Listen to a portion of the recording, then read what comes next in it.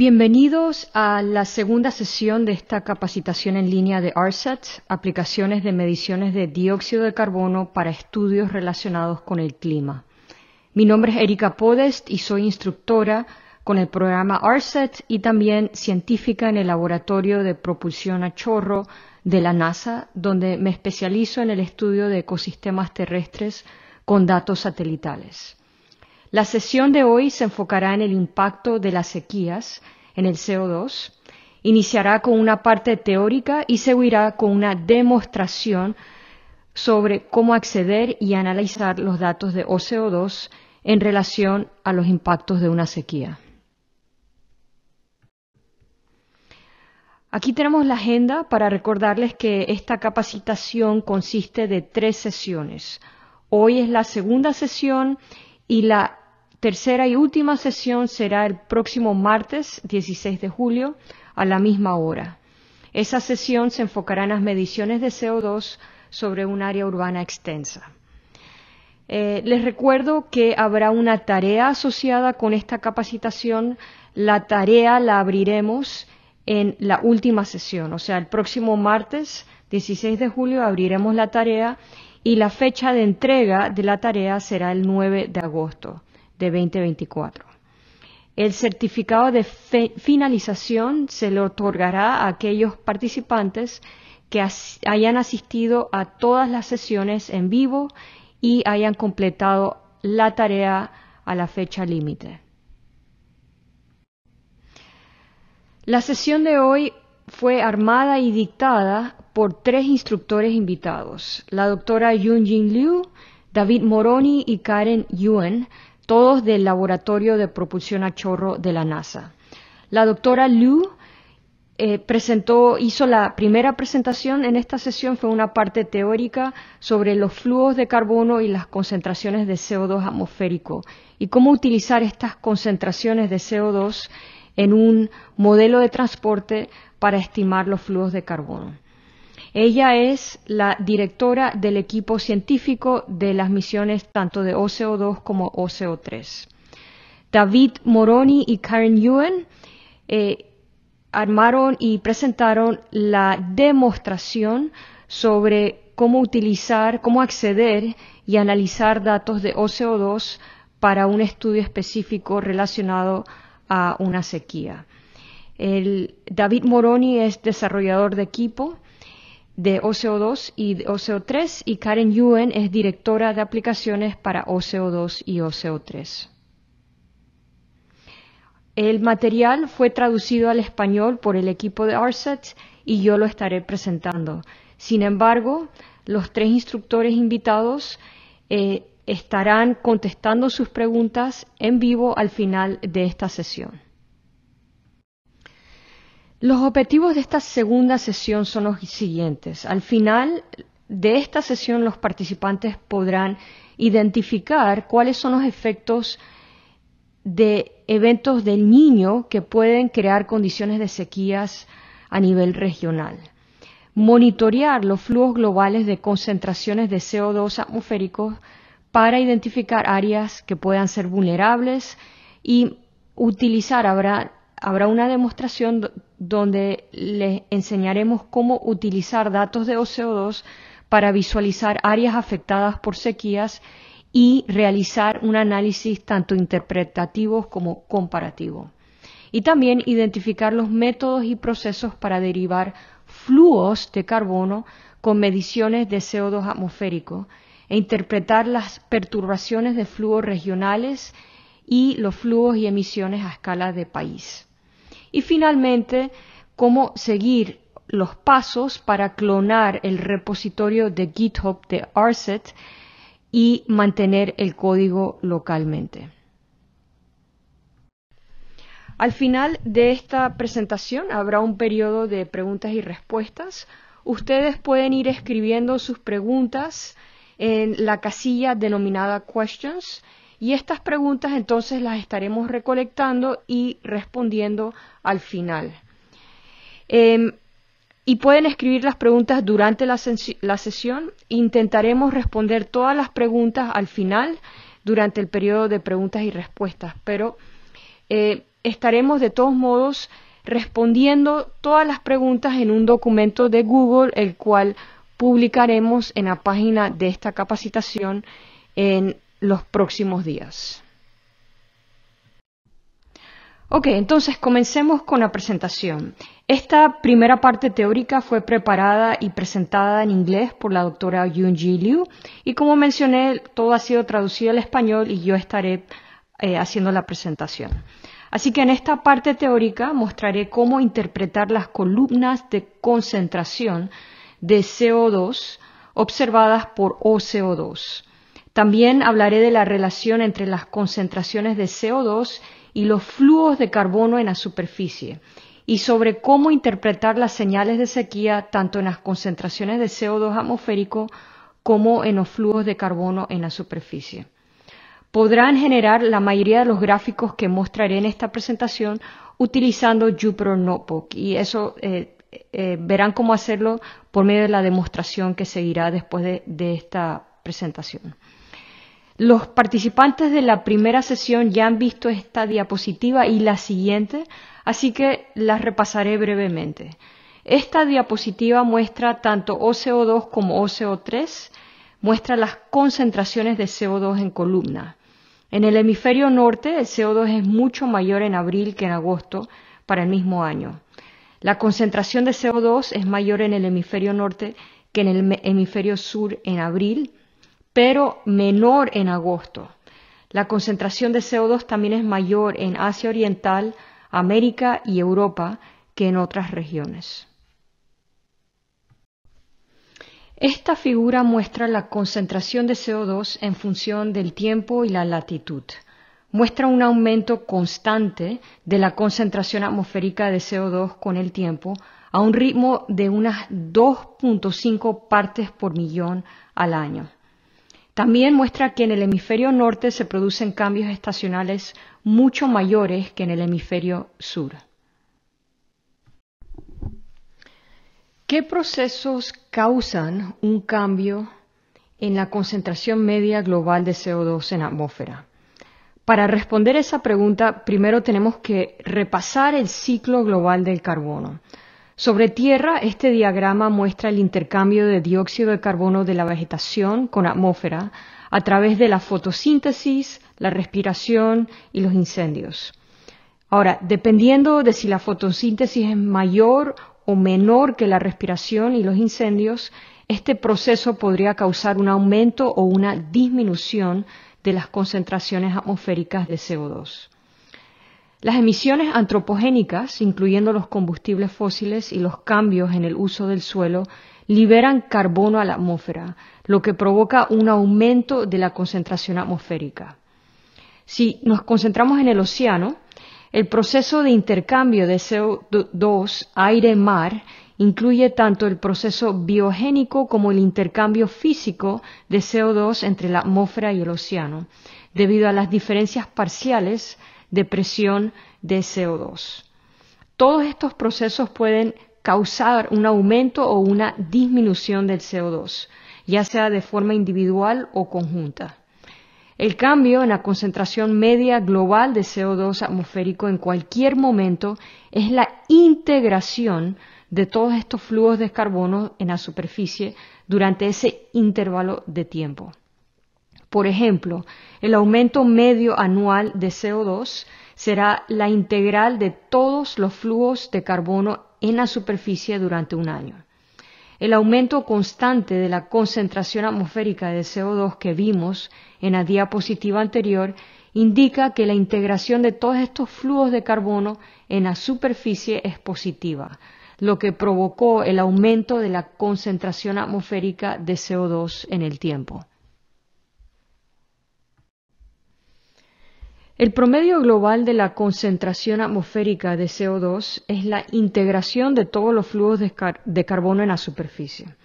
Ahora, el cambio temporal de las concentraciones locales y regionales de CO2 no solo está relacionado con los flujos de, de carbono en la superficie, sino también con el transporte lateral, como ven aquí con las flechas, también conocido como valores de fondo. Por ejemplo, el cambio en la concentración atmosférica de CO2 sobre su región o su ciudad no solo está relacionado con los flujos locales actuales, sino también con la concentración de CO2 transportada a su región desde otras zonas.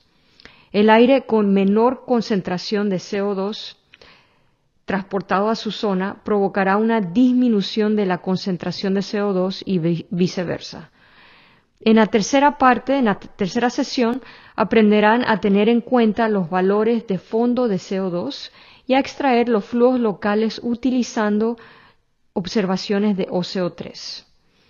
La ecuación que ven en esta diapositiva indica que los cambios regionales de las concentraciones de CO2 no solo están relacionados con los flujos en la superficie, sino también con el transporte lateral y el valor de fondo. Esta diapositiva muestra ejemplos de series temporales de concentración de CO2 observadas por OCO2 en tres diferentes lugares.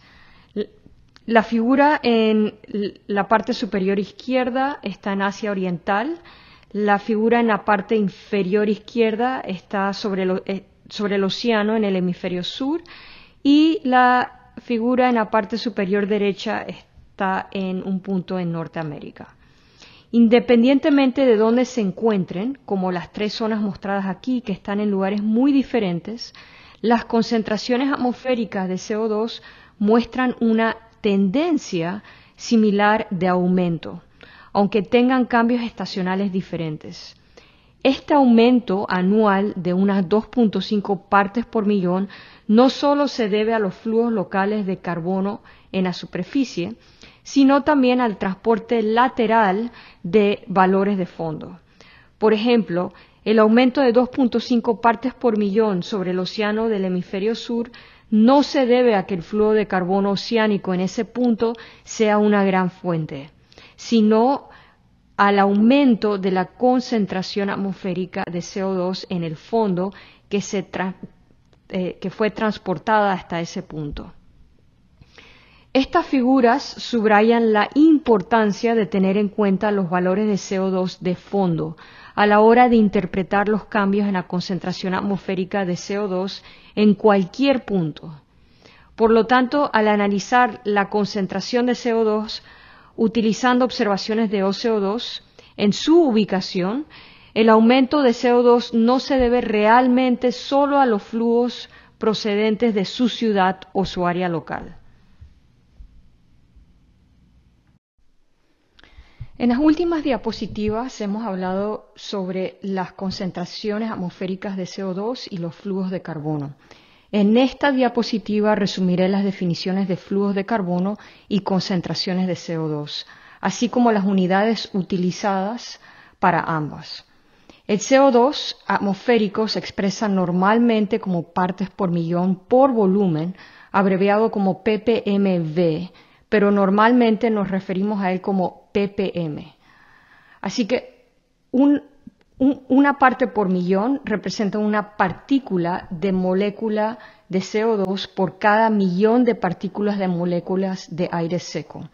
Tengan en cuenta que se trata de moléculas de aire seco, lo que no incluye el vapor de agua. Los flujos de carbono representan la dirección y la tasa de transferencia de carbono entre diferentes reservas de carbono, como la atmósfera, el océano y la Tierra. Las unidades de flujo de carbono que utilizamos normalmente son gramos de carbono por metro cuadrado por día, por área, por tiempo. Se utilizan otras unidades como los flujos anuales de carbono que se expresan en gigatoneladas de carbono al año, lo que equivale a un gramo de carbono por metro cuadrado al día multiplicado por el número de días al año, multiplicado por la superficie. La conversión de unidades es 1 a menos 15. La otra unidad es teragramos de carbono al año, con unidades de conversión un poquito diferentes. Y por último están los petagramos de carbono, que son lo mismo que una gigatonelada de carbono al año. Ahora, ¿cuál es la relación entre los flujos de carbono y las concentraciones atmosféricas de CO2? ¿Cómo se convierte la unidad de flujo de carbono en una unidad de concentración? Primero hay que convertir el flujo en una unidad de masa y después en una unidad de volumen. La relación entre el número de moléculas de CO2 y el número de moléculas de aire seco es igual al flujo de carbono por área por la duración. Esto convierte el flujo de carbono en una masa. Después dividimos por 12, que es el número de moléculas de carbono, y luego se divide por el número de moléculas de aire seco. A continuación se multiplica por 1 a la menos 6 para obtener partes por millón. En esta conversión, una parte por millón equivale aproximadamente a 2.14 gigatoneladas de carbono al año. Hemos hablado de los flujos de carbono en la superficie y de la concentración atmosférica de CO2. Pero, ¿cómo se vinculan los flujos de carbono en la superficie con la concentración atmosférica? Esto se hace a través de modelos de transporte atmosférico que simulan cómo la atmósfera vincula los flujos de carbono en la superficie con las concentraciones atmosféricas de CO2. En este diagrama ilustro cómo los modelos de transporte atmosférico vinculan esos flujos de carbono en la superficie con el campo de concentración. Al ejecutar el modelo, prescribimos flujos de carbono en la superficie que incluyen las emisiones de combustibles fósiles, los flujos de carbono terrestre y los flujos de carbono oceánico. Los vientos y el modelo de transporte atmosférico hacen que el CO2 liberado en la superficie entonces sea transportado por todo el planeta. La concentración simulada es continua tanto en el espacio como el tiempo, como demuestran las dos figuras de la parte inferior. Son dos ejemplos de concentración de CO2 simulada. Uno corresponde a la primavera y el otro al verano. Los colores más cálidos representan concentraciones de CO2 más altas, mientras que los colores más fríos representan concentraciones de CO2 más bajas. La primavera presenta concentraciones de CO2 más elevadas en el hemisferio norte, porque los flujos de carbono en la superficie en la primavera están dominados por las emisiones de combustibles fósiles y la respiración de los ecosistemas. Estos factores aumentan las, concentraciones atmosféricas de CO2. Ahora, en el verano, especialmente en el hemisferio norte, la concentración atmosférica de CO2 es mucho menor porque la absorción de carbono por fotosíntesis es mayor que la liberación de carbono por la respiración de ecosistemas y las emisiones eh, de combustibles fósiles. Esta diapositiva contiene una animación de una columna de CO2 simulada por un modelo de transporte atmosférico se ve claramente que hay actividad meteorológica muy activa y que se producen cambios en la concentración de CO2 a lo largo del tiempo. Encima de esta simulación de CO2 están las huellas de sobrevuelo de OCO2, o sea, las observaciones o las mediciones de OCO2. Así que esas rayas que ven son las huellas orbitales de OCO2 y pueden ver que OCO2 solo hace mediciones instantáneas de la concentración atmosférica de CO2. Esta animación demuestra que el cambio en la concentración atmosférica de CO2 se debe al transporte atmosférico y a los flujos de carbono en la superficie. Los flujos de carbono en la superficie no pueden ser observado fácilmente, pero sí podemos observar la concentración atmosférica de CO2. Así que la pregunta es cómo se obtienen los flujos a partir de la concentración atmosférica de CO2. Ahora, el proceso para calcular los flujos de carbono utilizando la concentración atmosférica de CO2 se denomina inversión del flujo de CO2 atmosférico. Mostraré cómo funciona este proceso. Anteriormente eh, mostré el, gráfico, la figura que ven en la parte superior aquí, que demuestra que al ejecutar un modelo de transporte atmosférico podemos simular la distribución espacial temporal de la concentración atmosférica de CO2, que corresponde a los flujos de carbono en la superficie. La figura en la parte inferior izquierda es la distribución espacial temporal de la concentración atmosférica de CO2 estimada con el modelo. También hay observaciones de OCO2, lo que pueden ver en la figura inferior derecha, las cuales usaremos para comparar la concentración de CO2 simulada con las observaciones de OCO2. Si la concentración simulada es diferente a la observada, significa que los flujos de carbono en la superficie no son consistentes con la observación. A, continuación, entonces, ajustamos los flujos de carbono en la superficie para minimizar esas diferencias entre los flujos optimizados y los anteriores, lo que eh, es representado como XB en la ecuación. La observación y la concentración simulada en el segundo término de la ecuación, que están representadas por los colores rojos. Cada término está normalizado por su término de covarianza de error. Mediante este proceso entonces ajustamos los flujos de carbono en la superficie para minimizar la diferencia entre la concentración simulada y la observación. Al final obtenemos los flujos posteriores que mejor se ajusten o se eh, correlacionen a la observación. Así que los flujos de carbono en la superficie serán consistentes con la observación. Y este proceso se denomina inversión del flujo de CO2 atmosférico. El intercambio neto de la biosfera o NBE, por sus siglas en inglés, posterior, son los flujos de carbono en la superficie optimizados que mejor se ajustan a la observación. El NBE incluye todos los flujos de carbono en la superficie terrestre, excepto las emisiones positivas. Los valores positivos indican una fuente de carbono a la atmósfera y los negativos un sumidero de carbono terrestre. La diferencia entre los flujos posteriores y los anteriores indica que los flujos posteriores tienen una fuente mucho mayor sobre el norte de África, una absorción más débil sobre el hemisferio sur y las latitudes medias y una fuente más débil sobre el hemisferio norte. Mediante este proceso de inversión ajustamos los flujos a priori que mejor se ajusten a la observación durante el mismo periodo de tiempo. En las siguientes tres diapositivas veremos algunas características de los flujos de carbono en la superficie y su relación con las características de las concentraciones atmosféricas de CO2.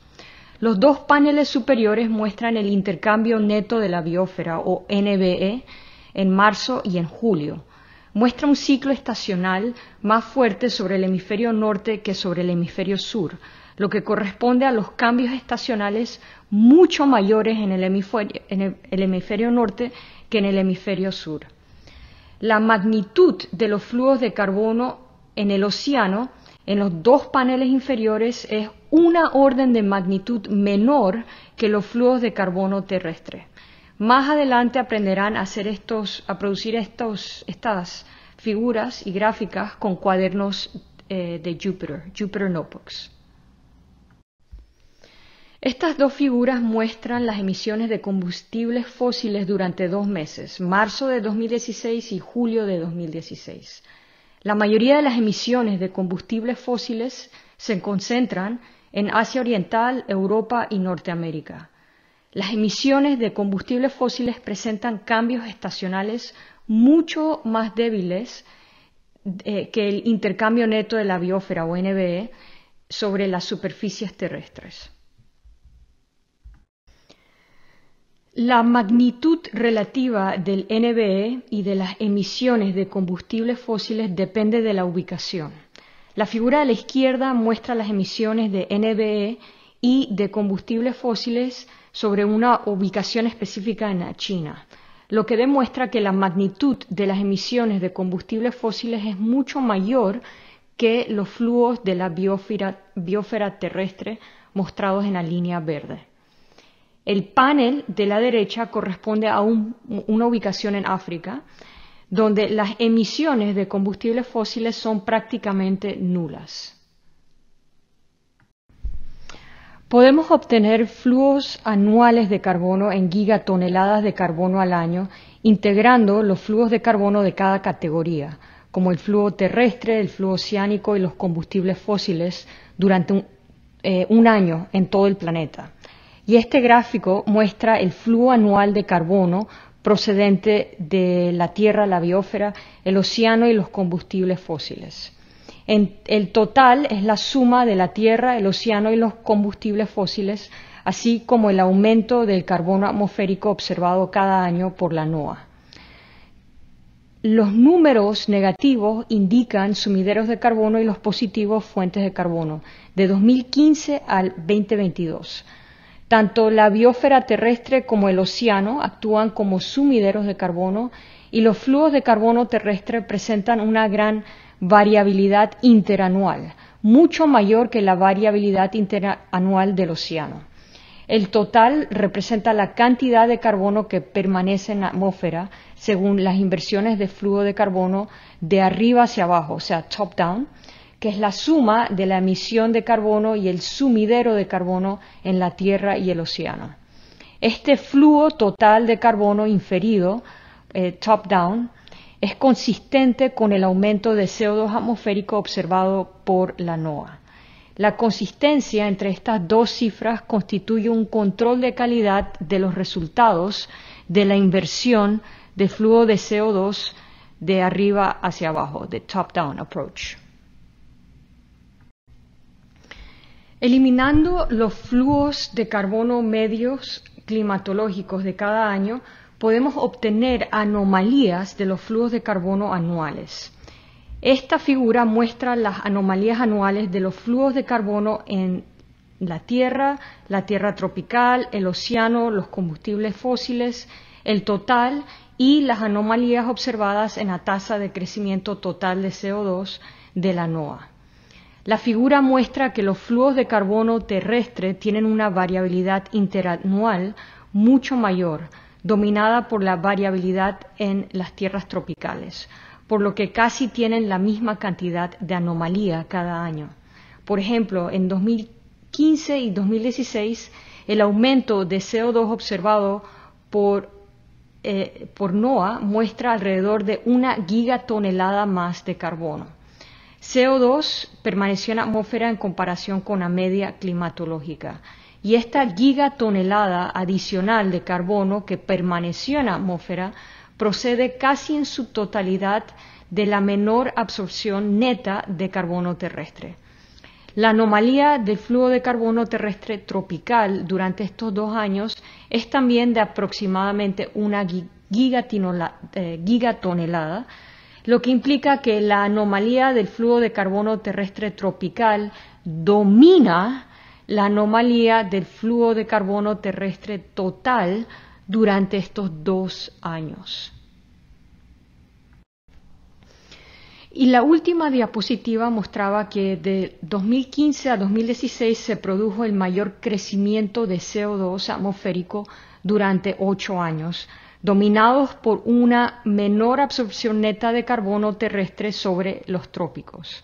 En las siguientes diapositivas hablaré de lo que ocurrió en 2015 y 2016 y de cómo interpretar las señales de sequía mostradas tanto en la concentración de CO2 como en los flujos de carbono en la superficie. 2015-2016 tuvo el evento de niño más fuerte eh, observado por OCO2.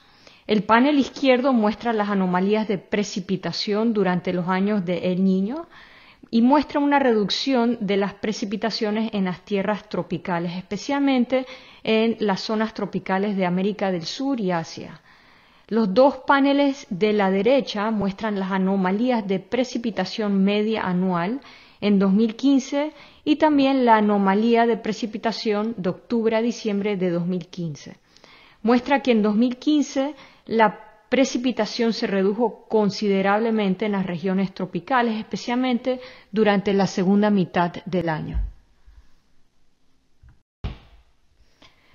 Primero veamos las señales de concentración.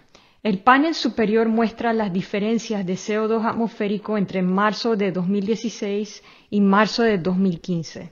Es la concentración de CO2 de marzo de 2016 observada por OCO2 menos la concentración de marzo de 2015.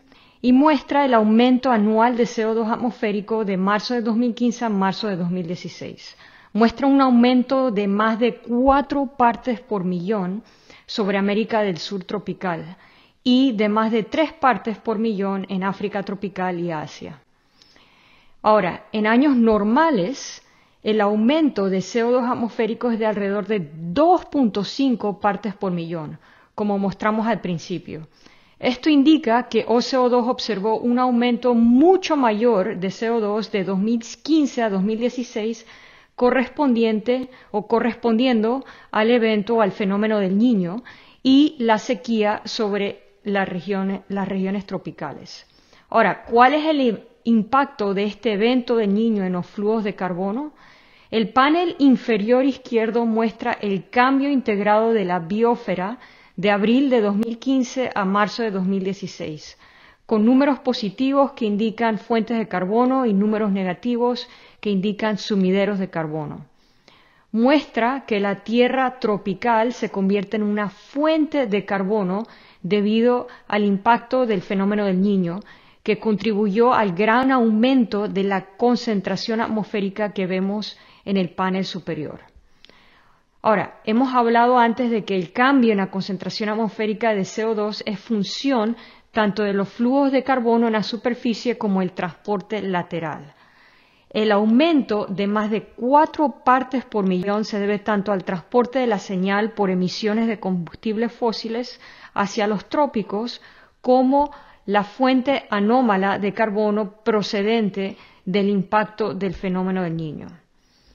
El panel derecho muestra el flujo total entre abril, el flujo total de carbono entre abril de 2015 y marzo del 2016, que incluye tanto las emisiones de combustibles fósiles como los flujos de carbono natural. Hay una gran fuente de carbono sobre China, Europa y Estados Unidos, dominada por las emisiones de combustibles fósiles. Indica que esta gran liberación de carbono sobre el hemisferio norte ha sido transportada sobre los trópicos y ha contribuido al aumento de cuatro partes por millón para la región. Este aumento de más de cuatro partes por millón no solo procede de los flujos locales de carbono, sino también del transporte desde otras regiones. Al finalizar el Niño en 2016, el aumento de CO2 atmosférico sobre los trópicos disminuyó. El panel superior muestra la diferencia de CO2 entre marzo de 2017 y marzo de 2016. Muestra que el aumento de CO2 atmosférico es de aproximadamente dos partes por millón en la mayor parte de los trópicos y mientras que algunas regiones incluso tienen un aumento inferior a dos partes por millón. Ahora, el flujo integrado de carbono terrestre sobre los trópicos entre abril de 2016 y marzo de 2017 se convierte en un sumidero de carbono en la mayor parte de la región, lo que se representa con el, color azul. El aumento regional de CO2 es una función tanto del transporte atmosférico de CO2 como de los flujos locales de carbono. El aumento de dos partes por millón en los trópicos no solo se debe al sumidero neto de carbono, sino también al transporte lateral que lleva la mayor concentración de CO2 a esta región. El aumento de CO2 atmosférico sería negativo si solo se debiera a los flujos locales de carbono, ya que en este año hubo un sumidero neto de carbono en los trópicos. Esta diapositiva resume las señales de sequía que observamos con OCO2 y los flujos de carbono inferidos. Durante la sequía, el aumento de CO2 atmosférico es mucho mayor, mostrado en el panel superior, mientras que el aumento de CO2 atmosférico disminuye después de la sequía, mostrado en el segundo panel. La sequía disminuyó drásticamente el sumidero neto de carbono que se muestra en el panel inferior izquierdo, representado por números positivos. El niño eh, de 2015-2016 tiene el mayor impacto sobre la Tierra tropical y el impacto sobre el océano es mucho menor, como pueden ver en el panel inferior derecho. Este muestra la diferencia de flujo total entre 2015, 2016 y 2016 y 2017. El cambio del flujo oceánico fue muy pequeño. Estas diapositivas muestran que OCO2 puede detectar el impacto de una sequía y a través de un modelo de inversión de flujos podemos entonces estimar el cambio en los flujos de carbono de la superficie debido al impacto de anomalías climáticas como el niño. La siguiente parte fue armada y presentada en inglés por Karen Ewan, quien es la directora de aplicaciones de las misiones OCO2 y OCO3 en el Jet Propulsion Laboratory de la, NASA. Como ya mencioné, esta parte ha sido traducida al español y yo seguiré presentándola. Em, así que esta siguiente parte es cortita, es una introducción y trata sobre cómo comenzar a trabajar con los datos de OCO. Antes de comenzar con la demostración del cuaderno Python en Jupyter Notebook que David hará para ustedes, me gustaría recordarles a a todos los participantes la disponibilidad de los datos de OCO2 y OCO3. OCO2 se lanzó en el 2014, por lo que tenemos 10 años de datos, y OCO3 se lanzó en 2019 y tenemos 5 años de datos. Los datos de ambas misiones se archivan y distribuyen en el centro de archivos conocido como Goddard Science Data Information Service Center o GESDIS de la NASA. Si no disponen de una cuenta, pueden registrarse gratuitamente. Los datos son libres de acceso, pero deben de registrarse para poder descargar los archivos y utilizar algunas herramientas. Una vez en la página de GESDIS, solo tienen que buscar OCO2 u OCO3. Esta eh, eh, figura demuestra un ejemplo de ello. La búsqueda mostrará todos los datos disponibles en base a los criterios de la búsqueda. Si recuerdan el primer webinar introductorio de OCO, de ARSET, que se llevó a cabo en el 2022, encontrarán los mismos detalles como la nomenclatura. Sin embargo, hay cosas nuevas como las versiones actualizadas de los datos y también la capacidad de trabajar en la nube, como pueden ver en la opción que indica la flecha. Eh, así que recomendamos que consulten la capacitación introductoria sobre OCO de ARSET para aquellos que quieran aprender más sobre cómo navegar por los archivos. Ya que los datos de estas misiones son de libre acceso y se alinean a la política de la NASA sobre la ciencia abierta, les pedimos que por favor citen el uso de los datos en sus publicaciones y otras plataformas de información. Aquí hemos incluido el eh, cómo citar eh, debidamente, al igual que el DOI para incluir. Antes de que David haga la demostración del cuaderno Python, tendrán que descargar algunos paquetes de software para la demostración. Él entrará en más detalles también. Vamos a trabajar en Python 3 y Jupyter Notebook que están empaquetados con Conda. Por favor, sigan las instrucciones de instalación que aparecen para sus respectivos sistemas operativos. Tenemos un enlace aquí para guiarlos. Las librerías que necesitarán usar e importar en el código de abajo deberían estar incluidas en Conda. Por favor, también recuerden en qué directorio descargan sus archivos y recomendamos crear una carpeta para los datos. Para el siguiente paso, las librerías deben estar instaladas en Conda. Y aquí hay una captura de pantalla eh, demostrándolas. Si necesitan comprobarlo, escriban Conda List en sus terminales y debería aparecer un listado de las librerías que hay actualmente. Si no ven lo que necesitan, entonces lo que deben hacer es lo que le llamamos un pip install. Aquí hay otra captura de pantalla. Em, para demostrar el, pip install. Y como pueden ver, se pueden descargar múltiples librerías de ahí. La idea es crear el entorno para que puedan trabajar con estos cuadernos. David hará esa parte de la demostración. Para abrir un cuaderno Jupyter Notebook se hace lo mismo. Vayan a la terminal y escriban Jupyter Notebook y estarán listos entonces para comenzar. La siguiente parte fue armada y presentada en inglés por David Moroni, quien es desarrollador de equipo de las misiones OCO2 y OCO3 en el Jet Propulsion Laboratory de la NASA. Eh, yo seguiré presentando esta demostración y esta demostración es en Jupyter Notebook y trata sobre cómo trabajar con los datos de OCO.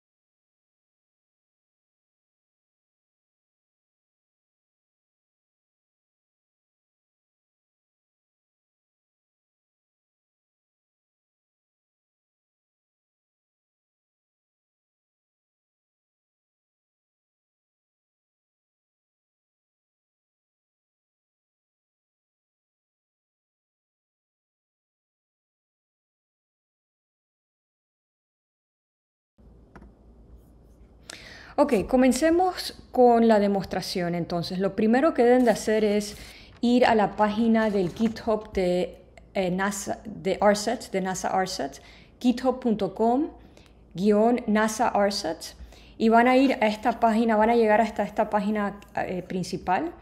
Y lo que deben de hacer es seleccionar ARSET CO2 Measurements. Ese, ese eh, folder es el que tiene todos los archivos y cuadernos que vamos a utilizar. Em, así que aquí tenemos varios diferentes archivos em, y aquí hay instrucciones sobre cómo validar el entorno, cómo establecer y validar el entorno y cómo em, crear y, también cómo instalar eh, Anaconda, porque vamos a estar utilizando eh, Anaconda o Conda. Así que aquí sigan todas estas instrucciones para establecer, para descargar Conda y establecer el entorno. Ok, entonces lo que vamos a hacer es que una vez tienen todo descargado, tenemos que validar, establecer y validar el entorno. Así que si van aquí a environment.yml, aquí hay una serie de eh, es una lista de todas las eh, dependencias que vamos a estar utilizando y aquí hay instrucciones sobre cómo eh, establecer el ambiente, el entorno y activarlo. Eh, así que comienzan con Conda, desde la línea de comando Conda este, create, y después lo activan como ya yo lo tengo instalado, simplemente lo voy a activar en estos momentos. Así que copio esa línea y voy a la línea de comando.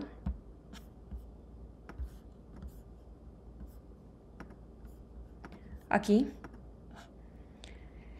Eh, y lo que debo de hacer es escribir esto dentro del archivo que he descargado. Eh, que contiene todos los, eh, la carpeta que he descargado que contiene todos los archivos que vamos a utilizar. Eh, voy a regresar para explicar cómo descargar esa carpeta.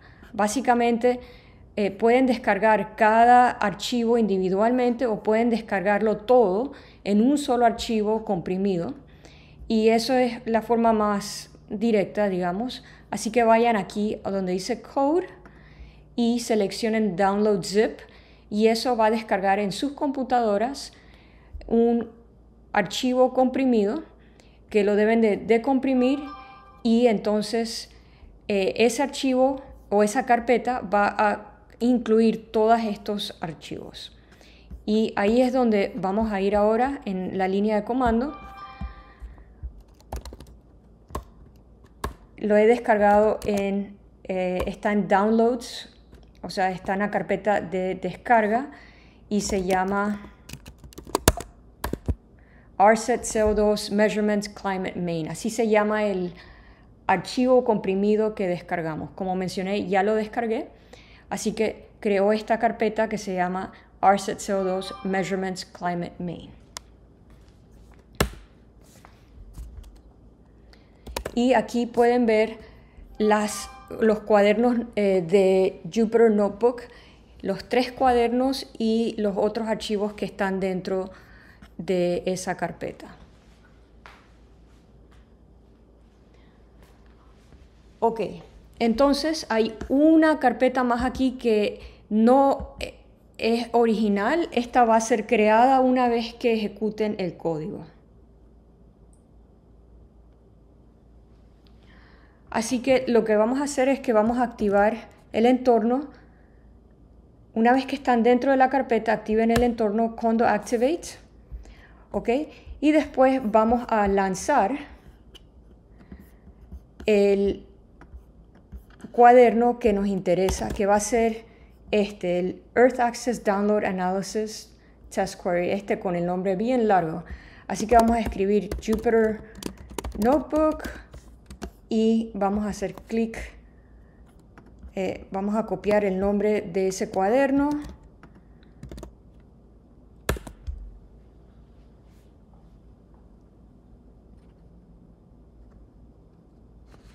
Ok, así que este es el primer cuaderno que vamos a ejecutar.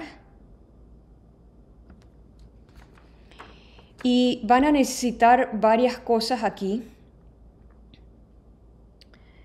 Eh, van a necesitar tener una cuenta en Earth Data para poder acceder el, el, centro del de, el repositorio de datos de GuestDisk. Si no tienen una cuenta con Earth Data, pueden establecer una sin costo y aquí están los detalles sobre cómo hacer eso. Ok, entonces, en este primer cuaderno eh, voy a demostrar los pasos sobre cómo acceder los datos de OCO2 del, API del Guestes, eh, también conocido como CMR, y esto será para datos de XCO2, de OCO2 de nivel 2 de sesgo corregido. Así que a partir de aquí vamos a eh, descargar los datos dentro de nuestro periodo de interés durante el fenómeno del niño del 2015 al 2016. Vamos a seleccionar variables prescritas, aplicar un filtro de etiquetas de calidad, colocar los datos en una cuadrícula común, generar promedios mensuales, calcular las diferencias entre los promedios mensuales, eh, mapear los resultados, en un mapa con una cuadrícula rectangular de latitud y longitud y por último exportar los gráficos como, un archivo, como archivos PNG a un directorio local. Los gráficos generados con este cuaderno reproducen todos los gráficos, todas las figuras de OCO2 del niño mostradas en las diapositivas previas. Este cuaderno hace uso de un archivo NT, lo que le llamamos un N.NETRC para las credenciales de acceso a NASA Earth Data, siguiendo las instrucciones proporcionadas en la parte superior de este cuaderno. Ahora, un archivo de estos NETRC no es necesario ya que el cuaderno genera un archivo NETRC con las credenciales que cada uno debe de suministrar. Lo que sí requerimos de antemano es que verifiquen si tienen eh, sus cuentas o si tienen una cuenta con Earth Data. Y lo pueden verificar aquí siguiendo estos pasos. Una vez que la cuenta de Earth Data Login esté verificada y funcional, pueden proceder al paso 2, aquí, para asegurarse que el API CMR reconozca los permisos para acceder el archivos eh, o los archivos, los datos con sus credenciales. El Guest Disk, este eh, centro de archivos de la NASA, el Guest Disk, es el único centro de datos que estaremos accediendo. El paso 3, este, indica cómo crear su archivo netrc con sus credenciales de acceso, pero como he mencionado anteriormente, esto no es necesario. Verán bajo la sección de Other Important Notes, aquí, que el paso más importante es asegurarse de que confíen en este cuaderno antes de ejecutarlo. Y esto lo pueden comprobar por el icono de confianza aquí arriba, Trusted. Eh, si aparece Not Trusted, pueden hacer clic y les da la opción para cambiarlo de trusted, en otras palabras, de confianza, de, no confianza a de confianza. Y esto evitará errores al escribir los archivos de salida en su directorio local. También eh, otra cosa que deben de verificar es que estemos en el entorno correcto, que es este, Conda Environment OCO RSET EMP.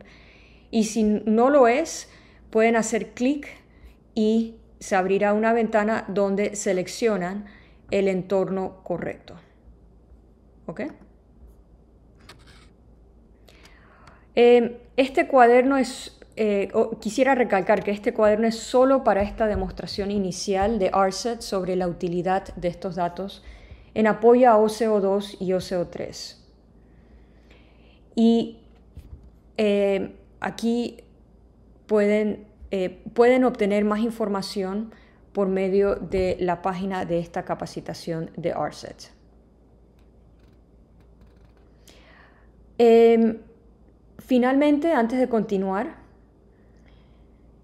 quisiera reconocer las contribuciones directas de Karen Yuen y la doctora Yunji Liu de OCO2 en JPL, quienes armaron el material de las diapositivas eh, que presenté anteriormente estableciendo los antecedentes de este cuaderno, al igual que obviamente que David eh, Moroni.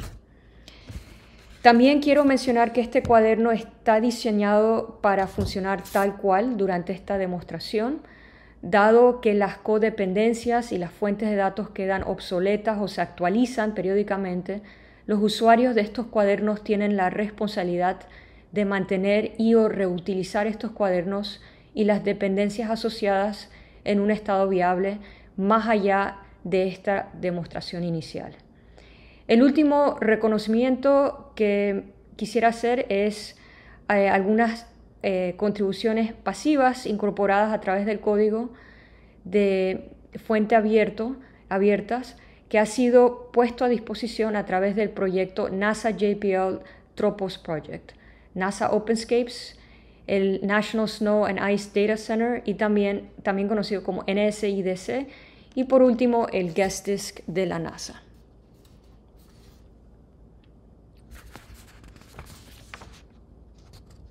Ok, entonces, en la celda 5 utilizamos el URL de referencia a la API CMR e invocamos nuestra función previamente definida que ahora puede verificar que CMR es accesible con el código 200. Eh, Así que aquí hacemos esto. Con este código es accesible y así entonces podemos proceder. En la siguiente celda definimos nuestros parámetros de búsqueda de CMR, empezando por el URL de búsqueda de CMR seguido del DOI, aquí el DOI, que define nuestra colección de datos. También pueden copiar y pegar este DOI en la ventana de búsqueda de su navegador. El DOI debería entonces llevarlos directamente a la página principal de datos en el guest disk. Y al ejecutar esta celda, vamos a ejecutarla. Es más, vamos a comenzar desde acá arriba.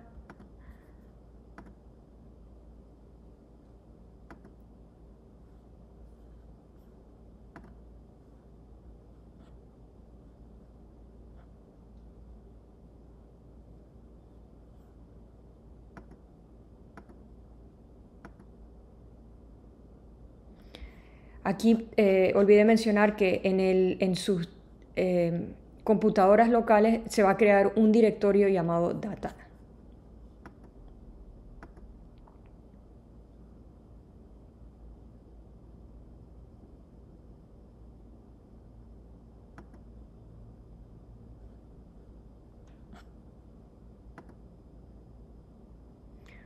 Ok.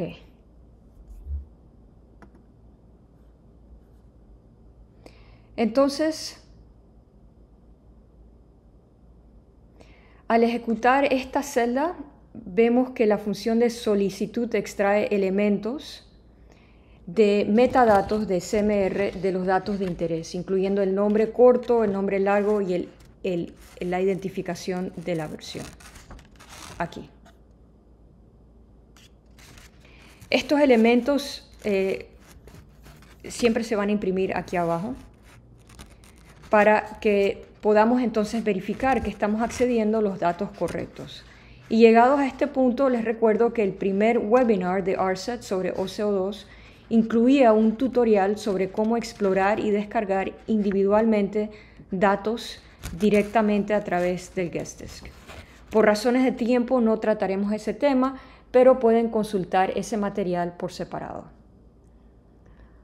Ok, entonces en la siguiente celda Definimos los parámetros de entrada de la variable netcdf que usaremos, incluyendo la etiqueta de calidad de XCO2, así como la medición de XCO2.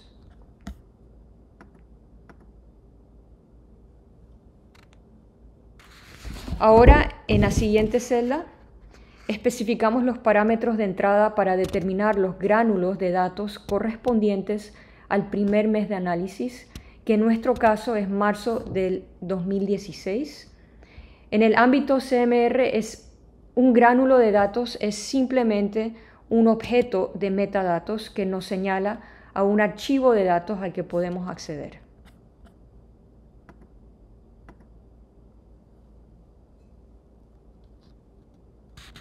Al ejecutar esta celda, entonces invocamos la función de gránulos de datos de la biblioteca de Earth Access para hacer el trabajo pesado de la búsqueda.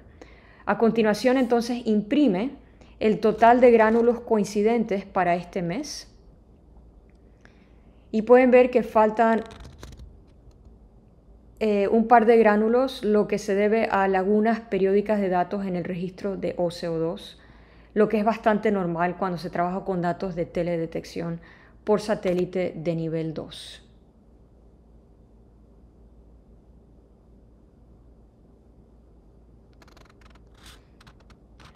También imprimimos un subconjunto de los metadatos granulares para confirmar que la búsqueda devuelve datos que coinciden con nuestra búsqueda.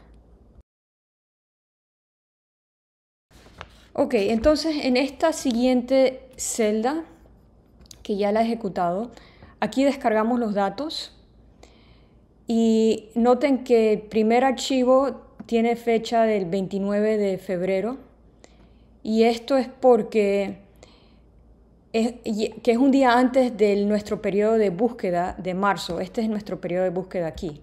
Aquí lo definimos. Del 1 de marzo al 31 de marzo del 2016 pero empieza por el 29 porque la hora de la fecha final en el registro de observación está en el límite preciso de tiempo 0 Zulu del 1 de marzo. Así que en el análisis simplemente vamos a ignorar este archivo. Así que aquí descargamos los datos em, y estos se guardan en su computadora. Son 29 archivos.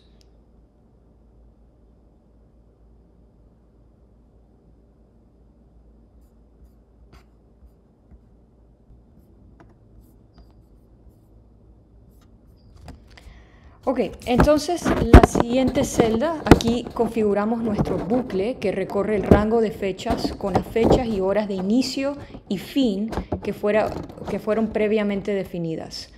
Y al ejecutar la celda, vemos que se ejecuta a través del archivo de datos en nuestro directorio local para encontrar archivos coincidentes. El código lee iterativamente a través de cada archivo y a medida que los lee, también extrae la latitud, la longitud, la medición y las etiquetas de calidad en sus propias matrices. Así que aquí eh, definimos la latitud, longitud eh, y longitud máxima y mínima aquí, con lo que establecemos entonces el límite espacial de la figura. La extensión de la latitud se limita al rango de más y menos 30 grados, lo que nos ayuda a limitar el análisis a los trópicos, ya que está, este es el enfoque principal del estudio para captar los impactos del fenómeno niño. Así que más o menos 30 grados latitud, eh, de latitud. Aquí también utilizamos NumPy para hacer una selección de caja delimitadora combinada con un filtro de etiqueta de calidad que luego aplicamos para completar el subconjunto de nuestras matrices de datos. Y hay que tener en cuenta que al utilizar el filtro de etiqueta de calidad igual a cero, así que aquí es donde estamos definiendo, este es nuestro filtro, que es el quality flag, lo estamos definiendo como es igual a cero, eh, esto significa que solo mantiene los valores de buena calidad y excluye los de mala calidad. Así también entonces definimos el tamaño de píxel o el punto de la cuadrícula a una resolución de 5 grados por 5 grados aquí. y después generamos una nueva cuadrícula lat long que se utilizará para crear un mapa, eh, un mapa de cuadrícula interpolado aquí en esta parte.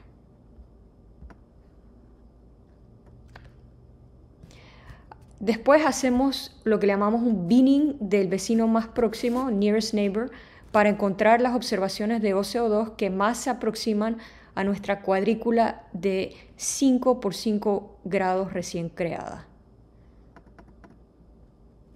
Y estos resultados se añaden a la variable de series temporales a medida que el bucle continúa iterando a través de los archivos restantes para este mes.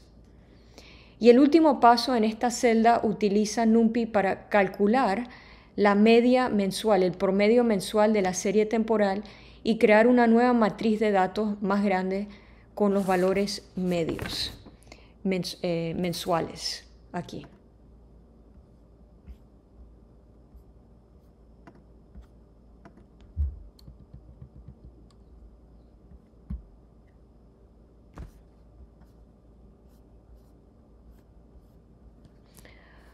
Ok, entonces debajo de la celda aquí podemos ver los resultados impresos, incluyendo cada archivo que se leyó, las dimensiones de la matriz de series temporales y el tiempo que tardó en ejecutarse.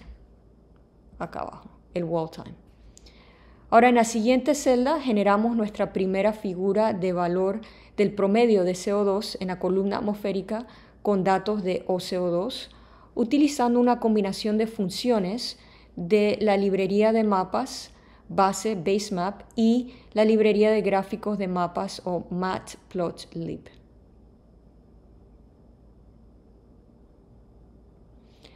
A continuación entonces guardamos esa figura como un archivo PNG. Aquí abajo.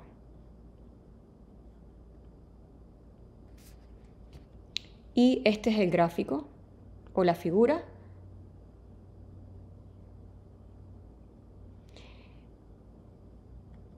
Y las siguientes celdas vamos a repetir muchos de estos pasos para nuevos datos, para generar nuevos gráficos. Y ahora vamos a hacer lo mismo para marzo de 2015.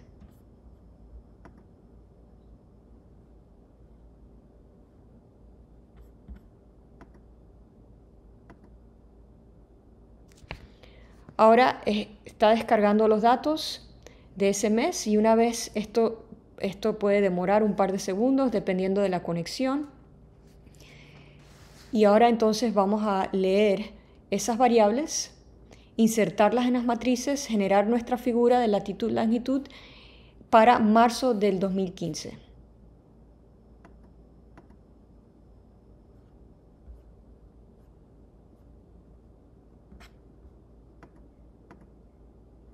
Y aquí está.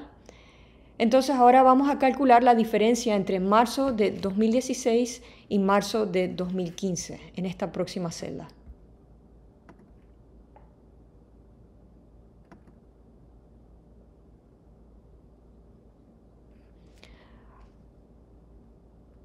Ok, y en la siguiente, aquí está la figura de esa diferencia. Y en la siguiente vamos a especificar los parámetros de entrada de marzo de 2017 vamos a hacer el mismo conjunto de parcelas para marzo de 2017. Cargar los archivos, lo cual vamos a cargar los archivos, lo cual toma alrededor un par de segundos, como, como había tomado anteriormente.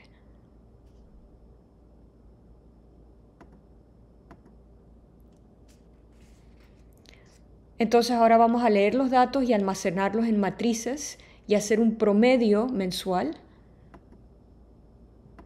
Vamos a generar el mapa de latitud-longitud y este es el gráfico entonces de marzo de 2017. Aquí. Ahora vamos a calcular la diferencia entre marzo de 2017 y marzo de 2016.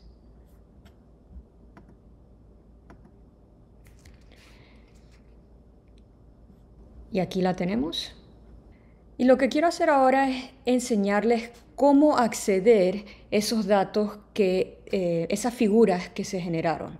Así que para hacer eso deben de ir aquí al menú desplegable de View, van a File Browser y se abre una pestaña nueva y hay un folder que se ha creado, una carpeta que se llama Data. Así que vamos a entrar en Data y ahí pueden ver todos los eh, archivos, las figuras PNG que fueron creadas, al igual que los datos originales que se utilizaron. Y si desean, digamos, eh, eliminar algún, algunos datos, pueden hacer eh, clic con el botón derecho y eliminarlos.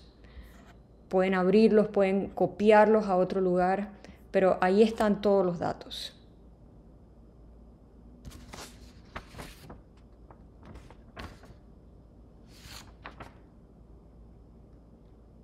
Ok, entonces lo que vamos a hacer ahora es que vamos a pasar a la última carpeta. Lo que voy a hacer, vamos a... o al último cuaderno. Vamos nuevamente aquí a View, File Browser. Se abre una nueva pestaña y aquí están los tres cuadernos de estas demostraciones que vamos a estar haciendo. Hoy estamos haciendo dos eh, y en la tercera sesión vamos a hacer un eh, eh, repasar un cuaderno. Así que el segundo cuaderno de hoy son sobre los flujos de carbón y vamos a hacer clic aquí. Y nuevamente lo primero que vamos a hacer es comprobar que estamos en el entorno correcto y que es trusted, que es de confianza. Así que en este cuaderno vamos a repasar los pasos para eh, realizar búsquedas en el centro de archivos por medio del API para los datos de flujo eh, y explicados aquí, todos los cuales son datos cuadriculados de nivel 4. Los datos NBE em, proporcionan estimados de flujos de intercambio netos de la biosfera, los datos oceánicos, estos aquí,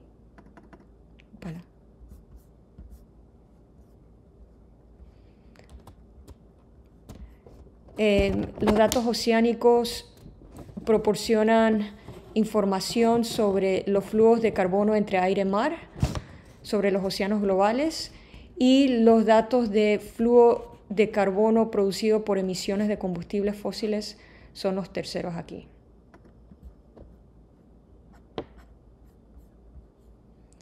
Ok, y si quieren más información pueden ir a los enlaces de cada uno de esos. Ahora, siguiendo a lo que fue presentado anteriormente, ahora repasaremos este cuaderno y generaremos una serie de figuras de flujo, comenzando con mapas de latitud y longitud en los distintos meses de interés, seguidos de eh, gráficos de flujos anualizados, comparaciones de gráficos de barra de flujo neto total de carbono y comparación eh, de gráficos de barras de las anomalías de flujo año por año.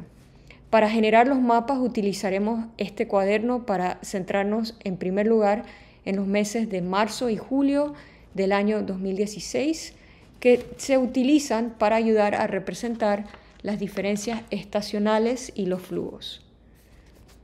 Después concluiremos con la generación de mapas con totales anuales que se calculan en dos años adyacentes, de marzo de 2015 a marzo de 2016, y después eh, de abril de 2016 a marzo de 2017.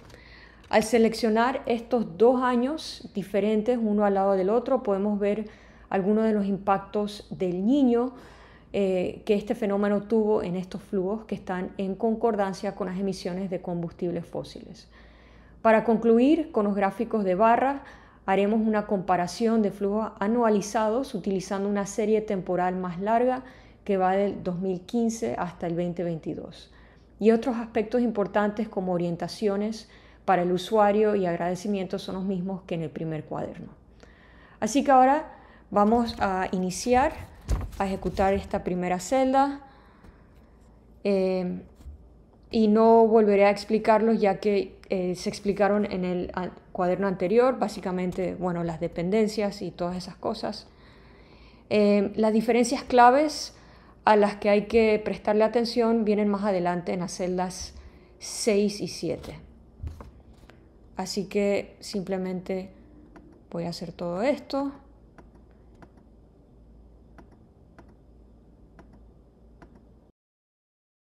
En la celda 6 definimos los parámetros de entrada, aquí.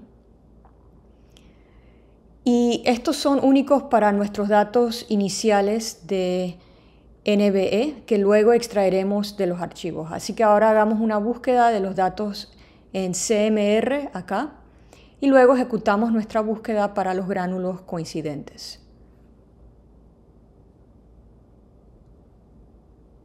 Aquí, en esta. En la celda 9, esta aquí, vemos que hemos descargado solo eh, un archivo de datos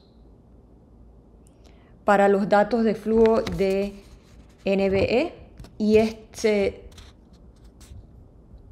eh, perdón, eh, vemos que hemos descargado los archivos de datos, aquí sí, uno nada más, de NBE.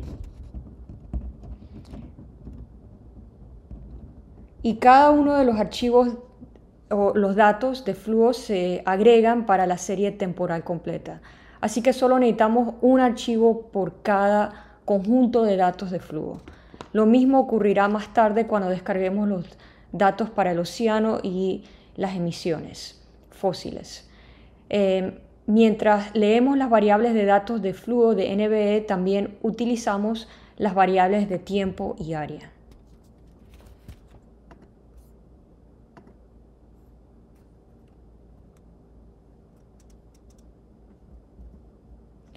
Aquí, aquí definidas aquí.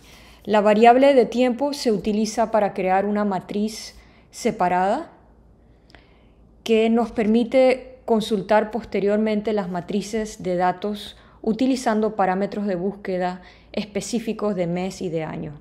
Y esto se consigue a través de un par de pasos con la función de el NumPy Array. Aquí.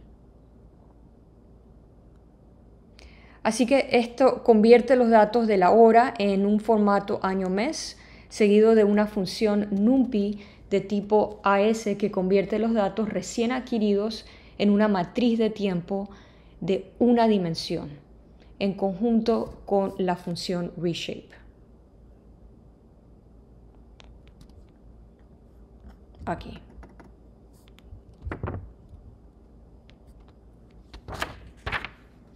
Entonces, tenemos, eh, también debo mencionar que en esta celda, em, la función de reshape de área toma la matriz de área y le da forma, le, da la forma de una matriz de tres dimensiones que permite que las funciones matemáticas se apliquen de manera más consistente con las matrices de datos. Y luego este último paso en la celda es expandir nuestro rango de latitud y longitud para extender la búsqueda a todos los datos que cubren el planeta.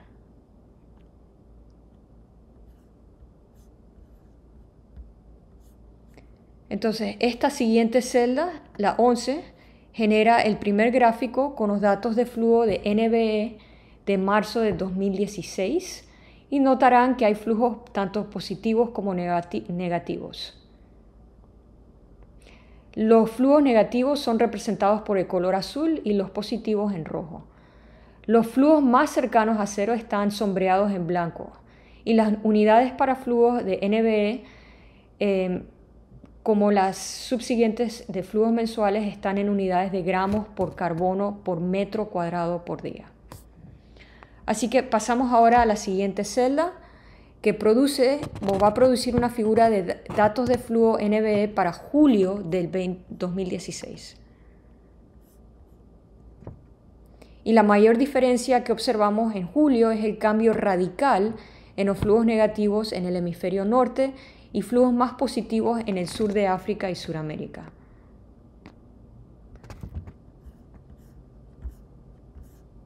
¿Ok? Así que ahora ejecutamos la celda número 13 para calcular la diferencia de flujo NBE entre julio y marzo de 2016, que pueden ver en esta figura aquí.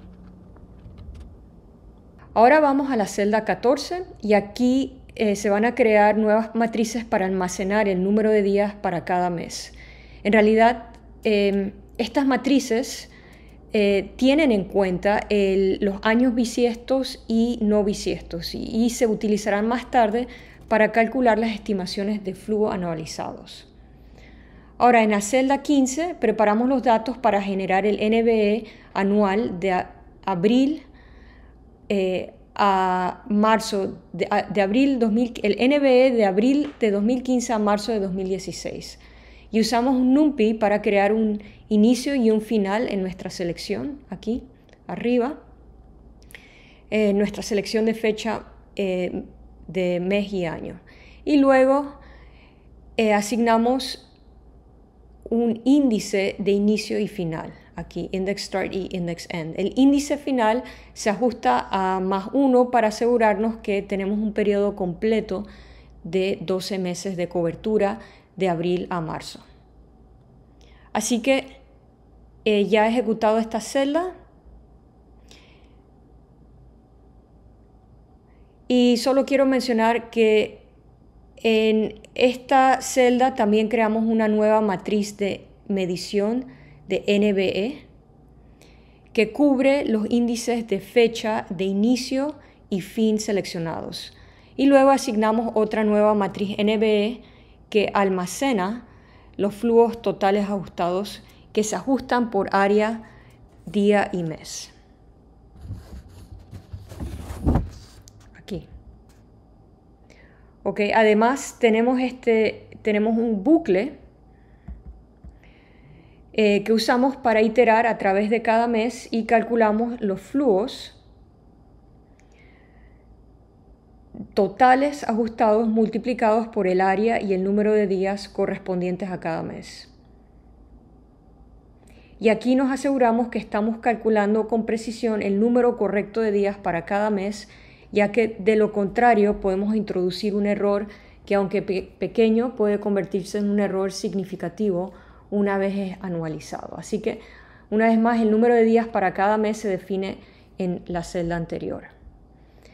También en esta celda usamos NumPy para calcular el total de 12 meses de los flujos ajustados en una nueva matriz que contiene el total de flujos anualizados que luego es reshaped como una matriz de dos dimensiones. aquí, con la cual entonces se puede crear un mapa de latitud-longitud, como el que vemos aquí. Así que el resto de lo que vemos en los pasos para generar el mapa es virtualmente idéntico a lo que hemos hecho previamente con algunos ajustes, el, título, las unidades eh, de eh, las barras de color, las unidades de los flujos anualizados, eh, totales, en este caso ahora eh, es teragramos por año. En la celda 16 repetimos lo que hicimos en la celda anterior, pero ajustando para abril de 2016 a marzo de 2017. Y ahora tenemos este nuevo mapa. Y aquí vemos menos totales anualizados en comparación con el año anterior y eh, más totales de flujo negativo en general, especialmente sobre los trópicos. En la siguiente celda, en la 17, hacemos la transición al uso de datos de flujo oceánico y así vamos a replicar muchos de los pasos anteriores, por lo que no eh, voy a entrar en más detalles sobre esto, solo algunos ajustes menores para ser específicos para los datos de flujo oceánico con el que estamos trabajando. Ahora vamos a ejecutar las próximas celdas que nos llevan a crear el mapa de flujo oceánico para marzo del 2016.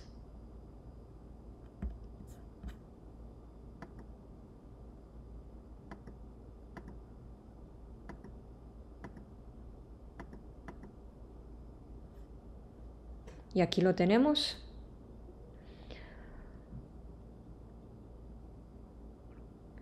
Este es el mapa de flujos aire-mar para el carbono de marzo de 2016 y tenemos una barra de color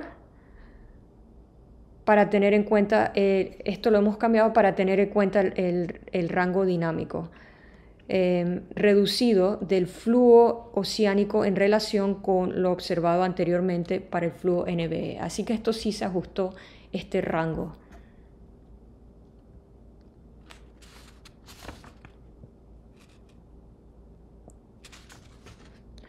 Ok, entonces en la siguiente celda haremos lo mismo para junio, julio perdón, de 2016. Y el mapa generado indica que en julio de 2016 emerge un patrón de flujo oceánico global diferente en comparación con lo que vimos justo arriba en marzo. Y una vez que calculamos entonces la diferencia entre julio y marzo en la siguiente celda, podemos ver el contraste significativo entre estos dos periodos.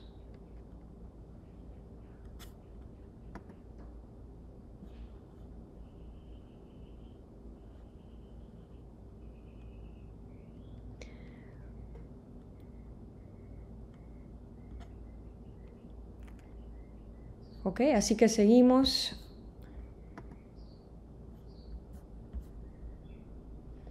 En esta celda, en A25, pasamos a calcular y generar mapas de flujo anuales.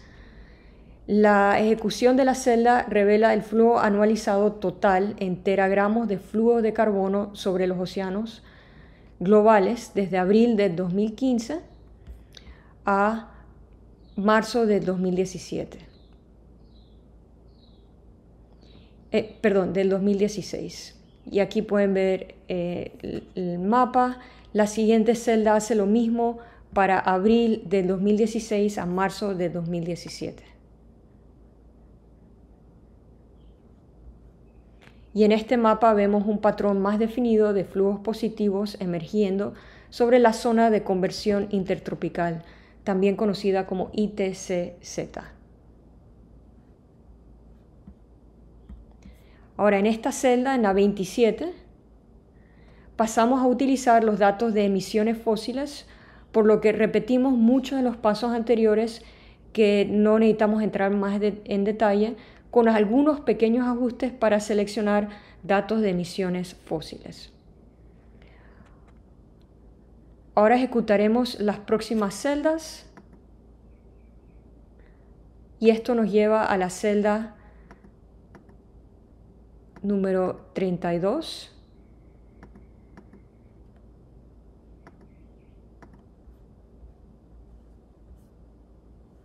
Está aquí.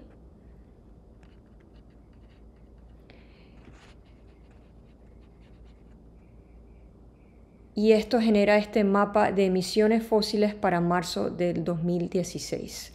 Y este es el primer mapa de flujo de combustibles fósiles, de emisiones de combustibles fósiles de marzo de 2016 que generamos y hemos cambiado completamente la paleta de colores para ver con más claridad el rango dinámico de las emisiones de combustibles fósiles, que a diferencia de los flujos anteriores, solo, estos solo producen valores positivos. Así que en la siguiente celda hicimos lo mismo para julio del 2016.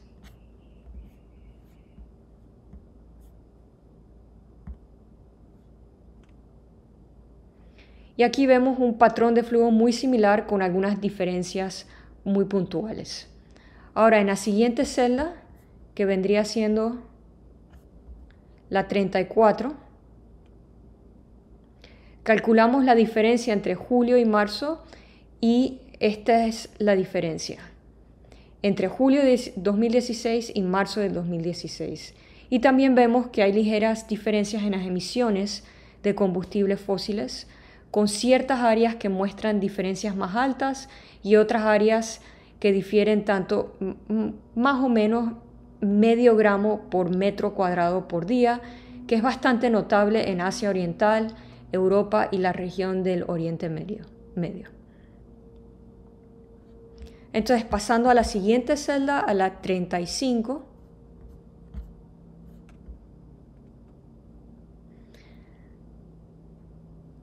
estos son los cálculos, eh, pasamos aquí a los cálculos eh, de generación de mapas de flujos anuales.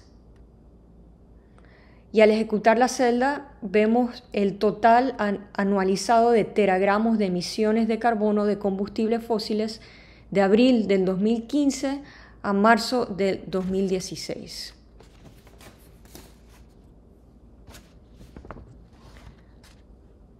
Y esta siguiente celda, entonces, hace lo mismo para abril del 2016 a marzo de 2017, lo que produce un patrón muy similar de las emisiones de carbono total, con solo unas ligeras variaciones localizadas en comparación con el año anterior.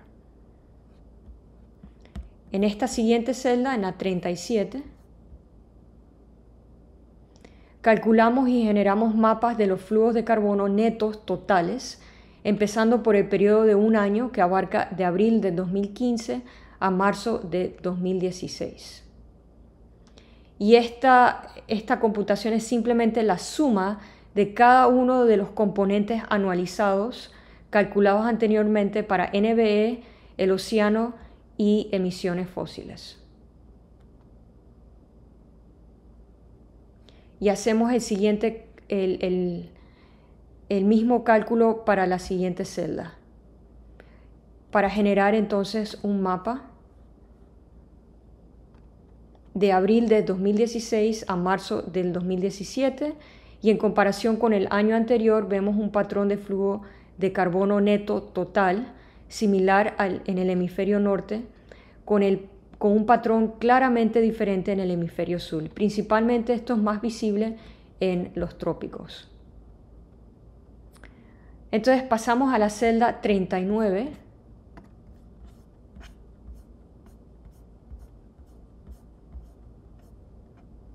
Esta es la celda 39. Y aquí calculamos el flujo total anual de enero a diciembre, definido aquí desde 2015 hasta 2022. Así que cada año es definido. Y los datos que habíamos almacenado previamente en memoria se vuelven a leer en nuevas matrices indexadas según las fechas de inicio y fin de cada año.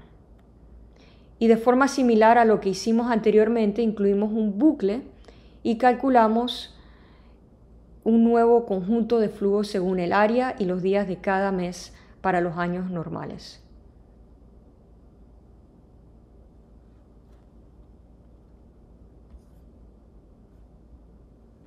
Aquí está el primer bucle.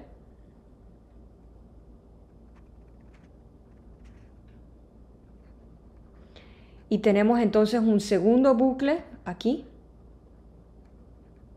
que hace lo mismo para los años bisiestos, concretamente para 2016 y 2020.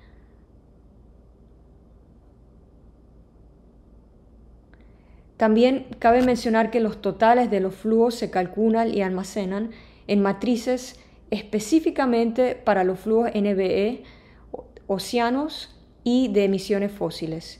Y siguiendo los cálculos de los componentes, calculamos el flujo de carbono neto total anualizado, teniendo en cuenta los tres componentes de los flujos sobre el mismo rango de años.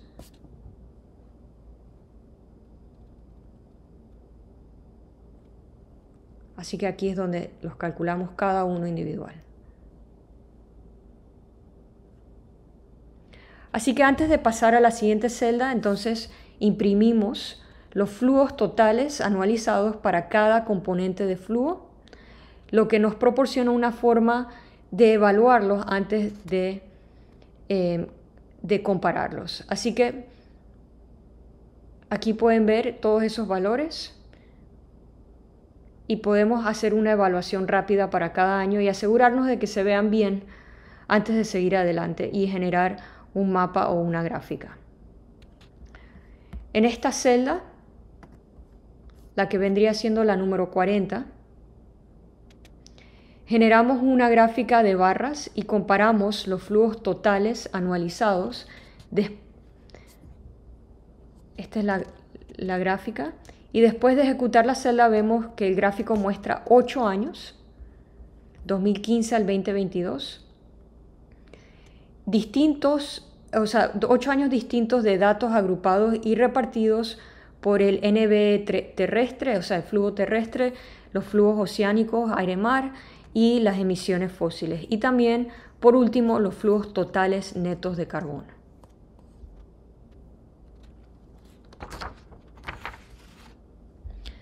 En la siguiente celda, esta aquí, calculamos los flujos medios globales a través de ocho años que cubren el mismo periodo, de 2015 al 2022, y esto incluye los flujos NBE terrestres, los oceánicos, las emisiones fósiles y los flujos totales netos de carbono.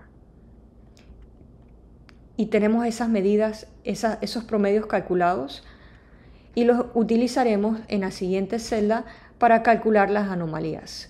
Así que ahora en la celda 42 utilizamos los flujos medios de 8 años calculados previamente, la media, o sea, ese promedio de 8 años, como base para calcular las anomalías de flujo para cada año desde 2015 hasta 2022. Y al ejecutar esta última celda generamos la última figura o gráfica que vieron en la presentación, la cual incluye un gráfico de barras que muestra las anomalías para cada año según los flujos terrestres, oceánicos, las emisiones fósiles y los flujos netos totales de carbono. Así que en este último gráfico de barras, el año 2022 específicamente produce, el, que está en gris, eh, produce una pronunciada anomalía negativa que puede ser explicada por la gran anomalía negativa coincidente del flujo terrestre, que sugiere una absorción de carbono de la biosfera terrestre superior al promedio para ese año en particular. Así que una vez más, para obtener todas las imágenes generadas por este cuaderno, les refiero a los pasos previos que se proporcionaron al final de la demostración del primer cuaderno, que eh, incluía los datos de OCO2. Y estos fueron básicamente los mismos pasos que seguimos para obtener estas imágenes de PNG. Así que recuerden, vayan a View, File Browser y en el directorio de data están eh, las figuras generadas en formato PNG. Así que esto concluye esta demostración, eh, esta segunda, este, la demostración de este segundo cuaderno y la demostración de esta sesión. Habrá una demostración más que será en la tercera y última sesión de esta capacitación.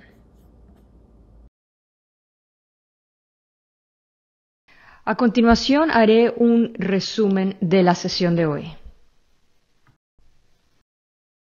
Entonces, en resumen, esta presentación inicial Cubrió cómo interpretar las distribuciones espaciales y temporales de CO2 en la columna, los factores que contribuyen al cambio en la concentración de CO2, tanto local como global, las unidades de CO2 atmosféricos y de flujos de carbono en la superficie, la relación entre los flujos de carbono en la superficie y la concentración de CO2 atmosférico y también hablamos del proceso de inversión del flujo de CO2 atmosférico em, y cómo interpretar las distribuciones espaciales y temporales de los flujos de carbono en la superficie, al igual que las señales de sequía tanto en la concentración de CO2 como en los flujos inferidos. Aquí hay una lista de diferentes fuentes de datos tanto de CO2, de mediciones de CO2 atmosférico, como los flujos de carbono y otras fuentes. Y para aquellos que quieran profundizar un poco más, aquí hay una lista de excelentes referencias. Aquí tienen la información de contacto de los instructores para aquellos que tengan alguna pregunta sobre el material o la demostración que se presentó hoy. Entonces, les recuerdo que la tercera y última sesión será el próximo martes 16 de julio y esa sesión estará enfocada en la medición de dióxido de carbono sobre áreas urbanas, utilizando datos de OCO3. Así que básicamente va a cubrir eh, no solo la importancia, pero los retos en las mediciones de dióxido de carbono sobre áreas urbanas o áreas metropolitanas. Eh, van a identificar aspectos importantes de las mediciones de CO2 desde el espacio sobre áreas urbanas y van a poder visualizar datos de OCO3 sobre zonas urbanas y realizar un análisis interpretativo y comparativo. Esto será por medio de una demostración. Así que la demostración también eh, les enseñará cómo acceder crear subconjuntos y descargar datos multianuales de OCO3 SAM, que es el modo de adquisición sobre zonas urbanas, utilizando un cuaderno eh, de Jupyter Notebook que se les proporcionará, similar a lo que hicimos hoy. Y con eso finalizamos esta segunda sesión. Quisiera agradecer a la doctora Yonji Lu, a Karen Yuen y a David Moroni por el material de hoy, la presentación y la demostración.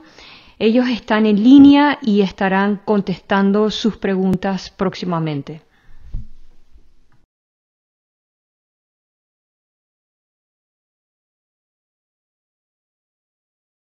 entonces hemos estado recolectando las preguntas y vamos a compartir con ustedes las preguntas que em, hemos puesto en el documento de Google el cual em, editaremos este documento y lo pondremos en, la página de esta capacitación en un par de días.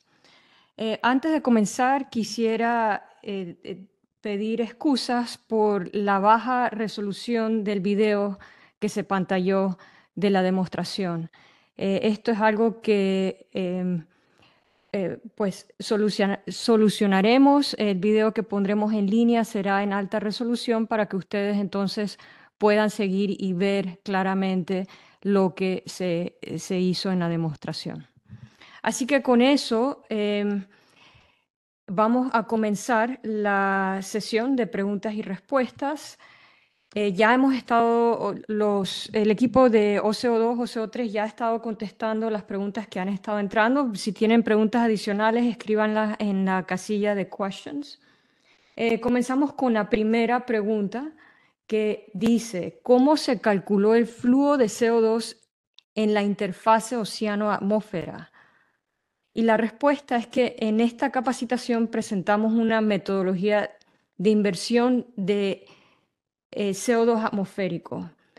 Es eh, lo que le llamamos top-down, de arriba hacia abajo, para calcular el flujo de CO2 en esa interfaz aire-mar. y esto ajusta los flujos aire-mar supuestos a priori para que se ajusten lo mejor posible a la concentración atmosférica de CO2 observada.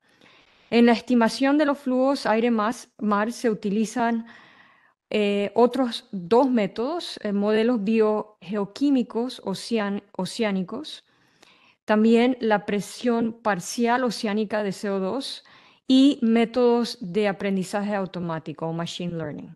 Y aquí hay un par de referencias. Seguimos a la pregunta número dos. Además del flujo de CO2 en el océano, eh, ah, el flujo de CO2 en el océano presenta variabilidad espacio-temporal en diversas escalas, desde horas hasta interanual. ¿Por qué decir que el océano es un sumidero si presenta alternancia en su papel como fuente y sumidero en diversas escalas espacio-temporales? La respuesta es que el océano es un sumidero de carbono cuando sumamos los flujos de carbono oceánicos a nivel mundial a lo largo de un año. Esto obviamente depende del lugar y el momento, si el océano es una fuente o un sumidero. Por ejemplo, integrado a lo largo de un año, el Océano Pacífico Oriental es una fuente de carbono, mientras que el Atlántico Norte es un sumidero de carbono. La siguiente pregunta, la número tres, dice, no entendí muy bien por qué existe ese aumento de CO2 en periodos del niño, desde el punto de vista atmosférico y de circulación de vientos. La respuesta es que durante los periodos del niño, esa tasa de crecimiento de CO2 atmosférico es por lo general más alta que en años normales. Durante el niño, las tierras tropicales reciben menos lluvia y tienen temperaturas más altas, lo que ocasiona entonces un menor crecimiento de la vegetación, más incendios y respiración del ecosistema, ecosystem respiration en inglés. Y esto resulta en que el ecosistema tropical terrestre absorba mucho menos carbono de la atmósfera que en años normales, lo que causa una tasa de crecimiento de CO2 anormalmente alta durante el niño. Y aquí hay algunas referencias. La pregunta 4. ¿Cuáles son las incertidumbres de las estimaciones de los flujos de carbono atmosféricos y del océano? La magnitud de las incertidumbres de las estimaciones de los flujos terrestres y oceánicos varían en el espacio y el tiempo, y por lo general las incertidumbres son mayores sobre la región tropical y durante el verano. Aquí igual eh, se han colocado algunas referencias al respecto. La siguiente pregunta, la número 5, ¿es posible usar los códigos para ver estas variaciones a un nivel local, regional, en lugar de global? Y la respuesta es que sí, absolutamente sí se puede modificar el código para ajustar el análisis de datos según la región específica de interés utilizando, eh, o sea, definiendo el área de interés por medio de latitud y longitud. La siguiente pregunta, la 6. ¿Cuál es el tamaño mínimo de celda o píxel para realizar estos análisis? Esto depende de los datos que están utilizando. Debido a la resolución espacial relativamente eh, baja de los datos de OCO, se recomienda no utilizar un área de un área menos de 5 grados de latitud por 5 grados de longitud. Ahora, comparado con los datos de OCO2, los datos de flujo de CMS, de CMS es el Carbon Monitoring System, utilizados en este ejercicio, tienen una resolución mucho más alta de un grado por un, grado de longitud por un grado de latitud. Así que pueden configurar el tamaño de la imagen de acuerdo a esto.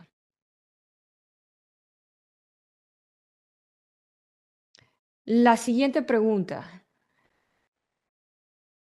El registro en Earth Data falla por falta de CAPTCHA, pero no aparece en la página pasa en varios navegadores. ¿Hay alguna opción? La respuesta es que esto puede deberse a las opciones de, em, de seguridad o tal vez el idioma en el navegador. Y la recomendación es que Revisen y ajusten esas configuraciones para ver si ayuda. Y si todavía tienen algún problema, aquí está el email donde pueden enviar sus, eh, su pregunta. Ok, esa es la última pregunta. Voy a revisar si hay alguna nueva aquí. Eh, yo creo que esas son todas las preguntas. Em, no veo preguntas adicionales, así que, bueno, con eso terminamos, concluimos esta sesión. Em, quisiera agradecer a, los participantes, eh, quisiera agradecer al equipo de ARCET y principalmente quisiera agradecer a los instructores invitados de hoy, a la doctora Yunji Liu, a Karen Yuen, a David Moroni. Y antes de cerrar, eh, quisiera eh, ofrecer que ellos den unas palabras de cierre. Eh, así que, Dr. Junji Liu, would you like to say some words before we close this session?